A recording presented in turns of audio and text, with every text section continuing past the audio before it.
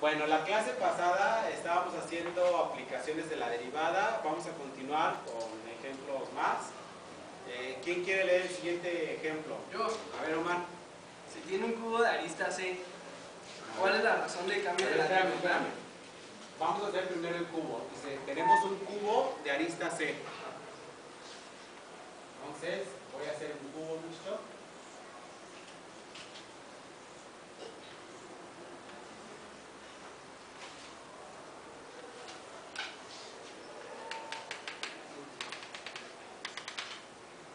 Y dicen ustedes que tiene arista C.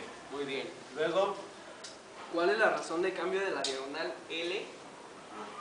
Pues me piden cuánto vale la razón de cambio de la diagonal L. O sea, vamos a poner que esta que se llama L. Ajá.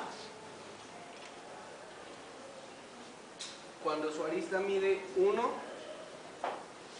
Cuando el arista vale 1, 5 5, y 9 centímetros.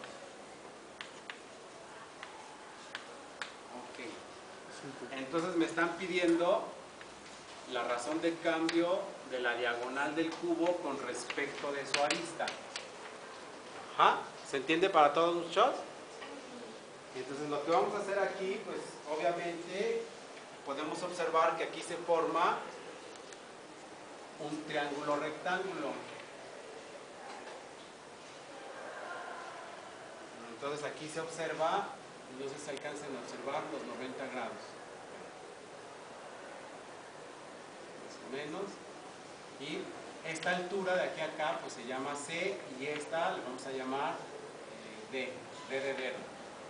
Entonces de este triángulo tendríamos nosotros que L al cuadrado es igual a C cuadrada más D cuadrada y le vamos a llamar ecuación 1. ¿Tienen alguna duda hasta aquí muchachos? ¿Dudas? ¿Seguros? Sí. Después observamos que se forma otro triángulo rectángulo en la base del cubo.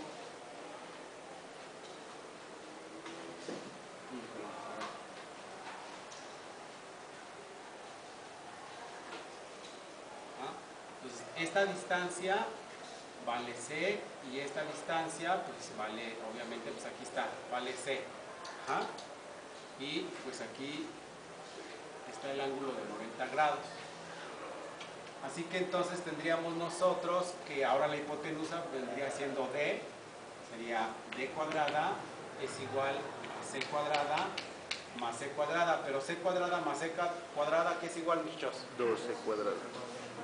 Exacto, va a ser igual a dos veces C cuadrada.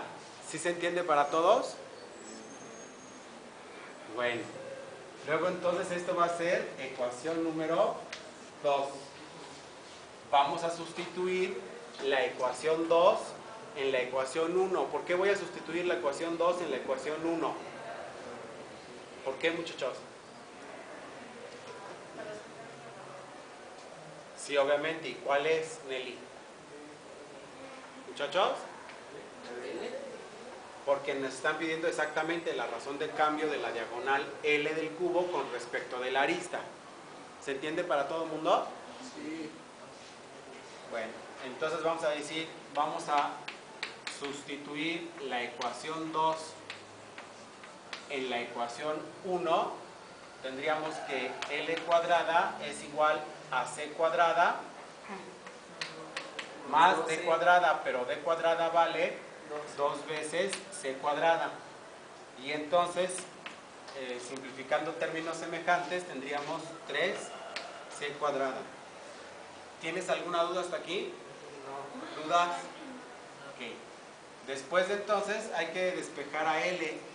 Así que L va a ser igual a 3 veces C cuadrada raíz cuadrada. Así que entonces nos quedaría como raíz de 3 por raíz cuadrada de C cuadrada. Pero este índice de radical 2 con este 2 del exponente de C se simplifican dándome la unidad y me queda simplemente la raíz cuadrada de 3 por C. Derivando esta última ecuación, con respecto de la arista, tendríamos que la razón de cambio de la diagonal del cubo con respecto de su arista va a ser igual a raíz de 3. Y este entonces sería la razón de cambio. ¿Qué significa entonces este resultado? Este resultado significa que independientemente de lo que valga la arista del cubo, como nos decían en un inicio, 1, 5 y 9 centímetros, eh, la razón del cambio del cubo siempre, con respecto de su arista, siempre va a raíz, siempre va a valer raíz cuadrada de 3. ¿Sí se entendió para todo el mundo un shot? O sea, no cambia independientemente de lo que valga la arista. ¿Sí se entendió? ¿Dudas? ¿Dudas?